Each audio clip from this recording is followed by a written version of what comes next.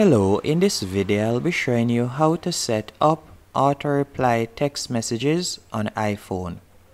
The first thing you'll need to do is go into settings and you want to ensure that your iPhone is up to date and is using the latest iOS as you can see right here. Once it is up to date what you'll need to do is go into focus. From here you want to select driving so as you can see I don't have driving on my list. Now to add it you'll simply tap on the plus in the top right hand corner then select driving then you're going to tap on next. And from here you want to remove all contacts where you see allowed people. You want to ensure that it has none. So you'll tap on remove all. Then you're going to simply scroll down and right where you see other people calls from you'll simply want to turn that off. You want it to be no one then tap on done. Then you'll tap on allow none. And here you are going to tap on skip. As you want to turn on driving mode when you want you don't want it to automatically come on.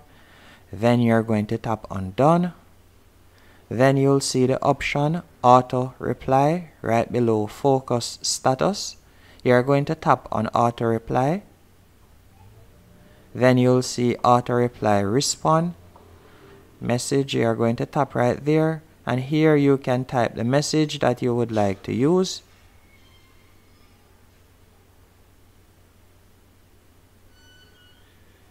You can type whatever you want.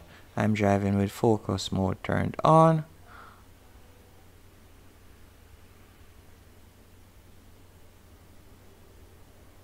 can type up the message.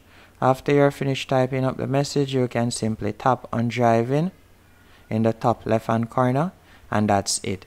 So now whenever you want to turn on auto reply text messages, you can simply swipe down from the top right hand corner depending on the model iPhone you have or you can simply swipe up and you'll see the half a moon right beside focus.